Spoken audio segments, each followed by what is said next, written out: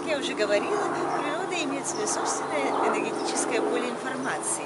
Так вот, я это говорила о том, что есть информационное поле у деревьев, трава и живая природа. Но звери и э, птицы, и насекомые – это совсем другое, они не имеют сюда отношения. У них свой собственный разум и свой собственный путь накопления, хранения и передачи информации. Сейчас я говорю о деревьях, о том, сказать, растительном мире. Так вот, они помнят что-то, что происходило. Природа не различает людские языки. Можно говорить на определенных любых языках, которые есть сейчас. Природа также помнит о том, что говорили люди на тех языках, которые уже отмерли как древние. Но, тем не менее, это все одна и та же информация. Иногда происходят события, как эм, катастрофы или сражения, которые связаны с гибелью живых существ, людей, животных и деревьев. Природа это запоминает и отображает информацию о том, что случилось в какой-то момент когда-то. И поэтому холмы и горы принимают определенные формы, чтобы показать на них запечатляется формы о том, чтобы показывать, что происходило здесь. Они как изображения, как гигантские статуи. Они изображают какую-то определенную историю. Горы становятся как живой картины. Они показывают о том, что происходило здесь, чтобы другие помнили и сделали все возможное, чтобы подобных разрушений не происходило в будущем природа просто всегда дает напоминание о том, что однажды вы сделали ошибку, однажды вы сделали плохо, вы были наказаны. Видите, что происходило, больше этого не делайте. Сделайте возможное, чтобы жизнь сохранить прекрасной. Потому что каждый был рожден для счастья, каждый был рожден для того, чтобы приносить в мир красоту и добрую энергию. Так вот, есть то, что есть передается информация. Вот так. Даже есть те, кто может слышать голос природы. Они разговаривают с травой, с деревьями. Можно узнать от земли, от травы, можно узнать о том, что есть травы полезные и вредные. Какие именно? Древние люди знали это. Они спрашивали растения, что помогает от определенного вида болезней. Как я говорила много раз, нет неизлечимых болезней – все вылечить можно. Никто не рождается уродом, даже если есть внешние деформации. Это все можно исправить. Не на 90%, можно 95, можно 85, но это того стоит все равно. Что-то исправляется на 100%. Кстати, есть легенда о 99 и единице, но об этом в другой раз. Так вот, каждому есть огромный потенциал сделать себя таким, каким он хочет. Каждый должен спросить у природы, что для этого нужно, как именно можно исправить то, что он имеет, и как можно получить, сделать себя тем, кем хочешь быть, каким хочешь быть. Потому что каждый может стать красивее, сильнее. Это есть в каждом потенциал, есть огромный. И у каждого природа дает огромные возможности. Так вот, в древности люди узнавали, какие есть лекарства. Они спрашивали траву, трава им отвечала, что она полезна от того-то и от того-то.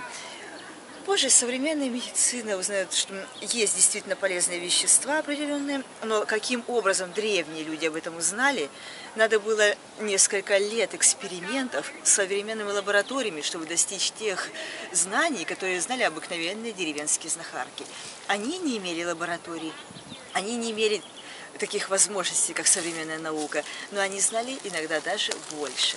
Потому что природа сама говорит, что нужно, только надо уметь услышать. Также природа предупреждает об опасности.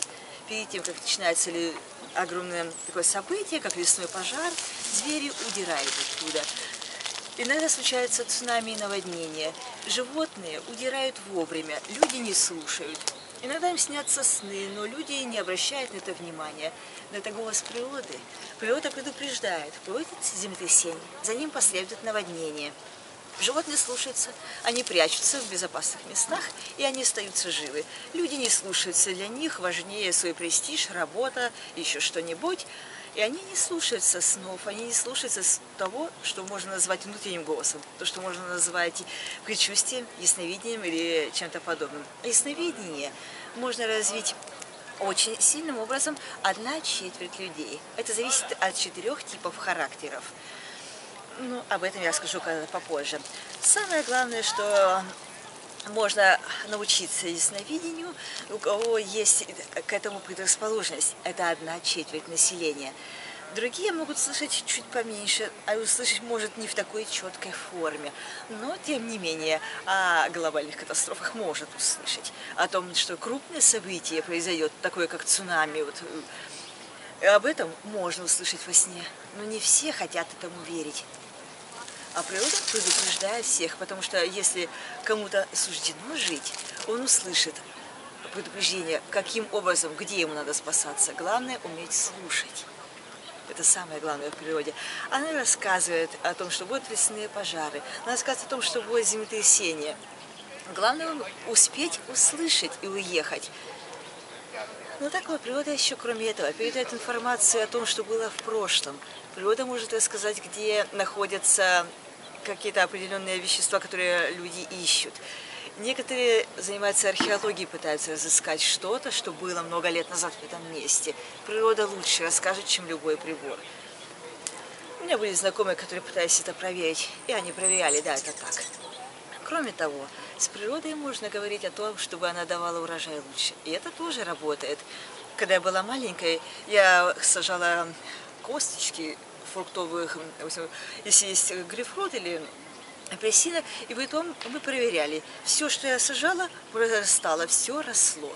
Другие мои сверстники, мои родственники, друзья, знакомые, они пытались тоже что-то посадить. У них прорастало у кого-то половина, у кого-то 75% семян прорастало. Но мои почему-то прорастали полностью. Я разговаривала с природой, я наблюдала, как растут цветы, как они раскрываются.